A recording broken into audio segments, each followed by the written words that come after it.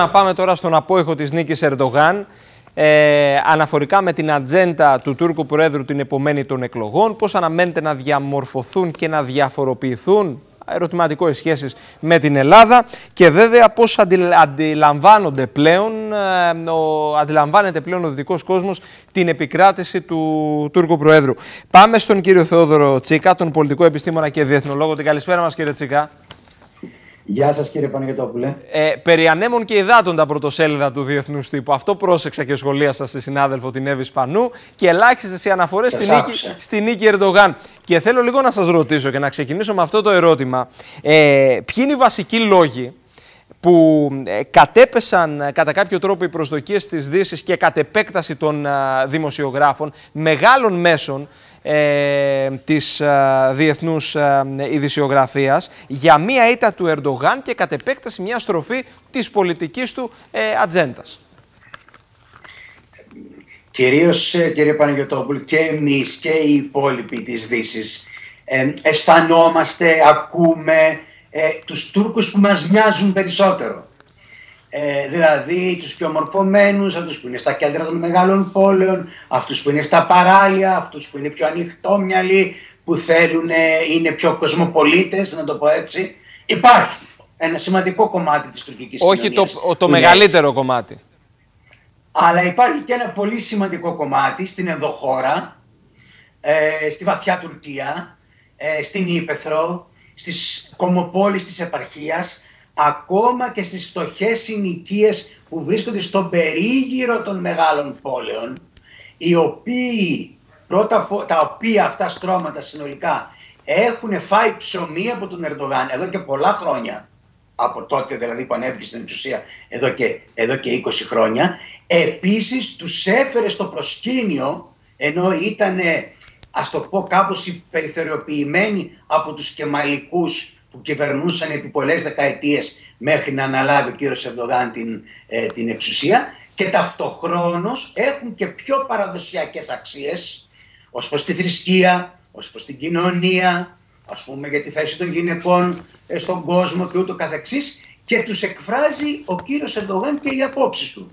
Αυτό λοιπόν το κομμάτι συνεχίζει παρά το γεγονός ότι υπάρχουν δυσκολίες στην Τουρκία, συνεχίζει να, υποστηρίζει τον κύριο Ερντογάν, ο οποίος είχε μεν απώλειες, αλλά όχι τέτοιες απώλειες που να τον κάνουν να χάσει την εκλογή. Δεν ασχοληθήκαμε πολύ ε, και πήραμε αψήφιστα κατά κάποιο τρόπο αυτή τη μεγάλη μερίδα, το μεγάλο τμήμα ε, που έχει ε, κατά κάποιο τρόπο ερντογανοποιηθεί στην Τουρκία όλα αυτά τα χρόνια.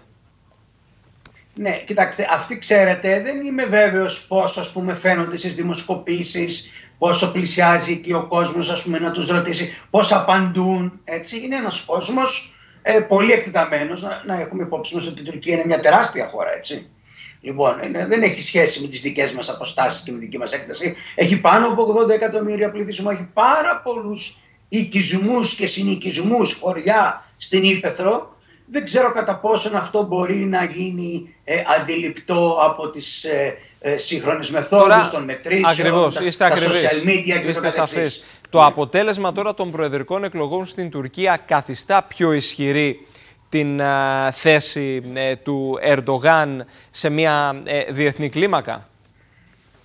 Κοιτάξτε, ο, ο Ερντογάν, ο κύριος Ερντογάν θεωρεί ότι και πράγματι, σαν να το έχει πετύχει να, φέρει, να κάνει την Τουρκία μια υπολογίσιμη δύναμη διεθνώς. Και γι' αυτό αν θα δείτε ακόμα και ανάμεσα στους δύο γύρους των εκλογών έκανε πολλές επικοινωνίες με ξένους ηγέτες θέλοντας ακριβώς να δείξει ότι αυτός είναι ένας ισχυρός συνομιλητής διεθνώς.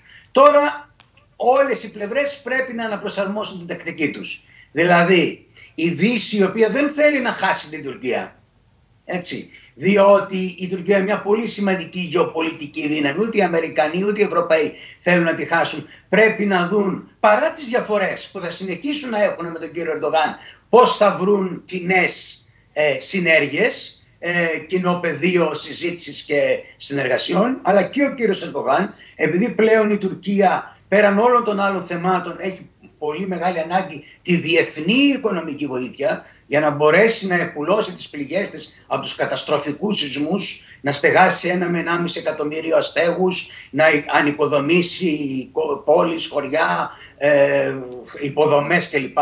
Ε, θα πρέπει να έχει έναν συνετό τρόπο συμπεριφοράς και έναν τρόπο συμβατό με αυτά που περιμένει η διεθνής κοινότητα Ακριβώς, αναφορικά. Ε, και παίρνω πάσα από αυτό που λέτε αναφορικά με την τακτική του Τούρκου Προέδρου να προχωράει και να πραγματοποιεί διάφορα παζάρια. Και αναφέρουμε σε ένα από αυτά όπως είναι η, ένταξη της Σουηδίας στο ΝΑΤΟ. Ε, έχουμε και το επόμενο ε, διάστημα και την σύνοδο κορυφής και θέλω να σας ρωτήσω αν έχουμε εξελίξεις, εάν περιμένετε ένα βήμα πίσω από τον Τούρκο Πρόεδρο σε αυτό το κομμάτι μέσα στο καλοκαίρι. Κοιτάξτε, δεν θα με εξέπλητε παρότι δεν είμαι βέβαιος ότι είναι πάρα πολύ εύκολο γιατί είναι πολύ πρόσφατη η ρητορική του, ας το πω, η εσωτερική, η αντιδυτική και θα ήταν πολύ μεγάλη ας πούμε διαφοροποίηση με αυτά που έλεγε προεκλογικά. Αν όμως έχει κάποια σοβαρά ανταλλάγματα, σημειώνω τη δήλωση του Προέδρου της Επιτροπής Εξωτερικών Σχέσεων της Αμερικανικής Βουλής, όχι της Αμερικανικής Γερουσίας, ο οποίος είπε ότι εάν η Τουρκία ε, άρει το βέτο για την είσοδο της Σουηδίας στο ΝΑΤΟ, εμείς θα δώσουμε στην Τουρκία, είμαστε έτοιμοι να εγκρίνουμε τα, τα πολεμικά αεροσκάφη F-16, θα μπορούσε ας πούμε, κατά κάποιο τρόπο να το δικαιολογήσει. Δηλαδή ότι φέρνει ας πούμε, κάποια κέρδη στην Τουρκία. Είναι βέβαιο πάντως ότι κάποια στιγμή θα λυθεί και το θέμα της Σουηδίας, δεν μπορεί να κρατηθεί ε, πάρα, ε, πάρα πολύ, αλλά φυσικά όπως γίνονται σε όλες τις χώρες με διαπραγματεύσεις όπου θα υπάρχει ένα, ένα δούνε και ένα λαβίν.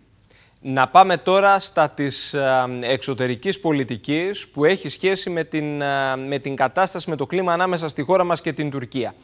Εάν θεωρήσουμε, να πάρουμε ένα σενάριο, αν θεωρήσουμε ότι καμία από τις δύο χώρες, και εμείς και οι Τούρκοι, δεν πρόκειται να κάνουν βήμα πίσω από θέματα τα οποία και από την, και από την προσέγγιση των δύο χωρών σε θέματα που αφορούν τις θαλάσσιες ζώνες, την αποκλειστική οικονομική ζώνη, το Κυπριακό, ε, υπάρχει περιθώριο αποκλιμάκωσης της έντασης ή θα γίνουμε πάλι στο ίδιο έργο θεατές κυρίως με την ένταση που προκαλεί ε, μέσα από μια με γνωστή τακτική η γειτονική Τουρκία και ο πρόεδρος Ερντογάν; Νομίζω ότι καταρχάς οι σχέσεις θα συνεχίσουν να είναι ομαλές.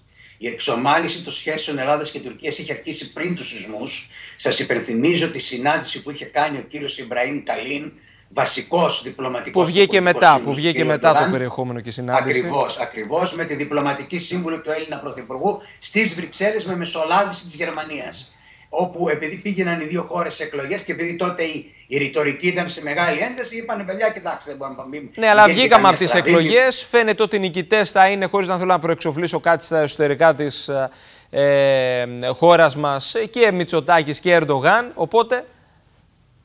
Ναι, λέω λοιπόν ότι έτσι κι αλλιώς υπήρχε. Έρχονται οι σεισμοί όπου η βοήθεια ας πούμε της Ελλάδας αλλάζει. Εντάξει, το έχουμε ξαναδεί το έργο στο παρελθόν με τους σεισμούς. Εκεί είμαστε ένα εξάμεινο κοντά και μετά πάλι τα ίδια. Δεν ήταν καθόλου έτσι κύριε Παναγιωτόπουλο. Σας υπενθυμίζω και για μια δεκαετία ήταν η χρυσή δεκαετία των ελληνοτουρκικών σχέσεων.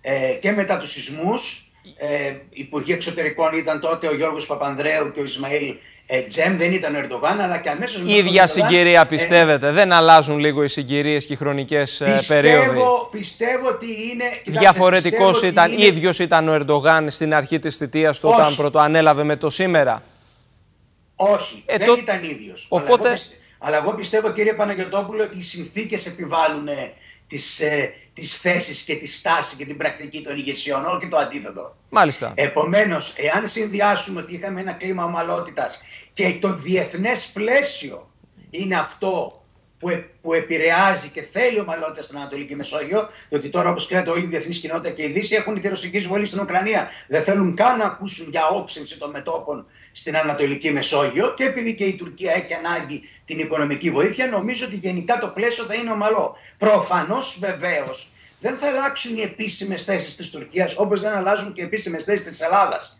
Αλλά έτσι κι αλλιώς, πριν μπούμε σε διάλογο και πριν μπούμε στην οποιαδήποτε διαπραγμάτευση, κανένας παίκτης δεν αλλάζει τις θέσεις του. Μέσα όμως στο διάλογο, στον οποίο εγώ θεωρώ ότι έχουμε δυνατότητα να ξαναμπούμε, τότε συζητάει κανείς να δει τι λύσεις μπορούν να βρεθούν αμοιβαία υποφελεί. Και πιστεύω ακράδαντα ότι υπάρχουν αμοιβαία υποφελείς θέσεις, αρκεί να εξηγηθεί στις κοινωνίες των δύο χωρών και στα πολιτικά συστήματα μάλιστα, ότι αυτές οι θέσεις δεν σημαίνουν μειοδοσία, ενδοτισμό ή προδοσία. Αντιθέτως, βάζουν και οριστικοποιούν ένα πλαίσιο συνύπαρξης των δύο χωρών. Μάλιστα, μάλιστα.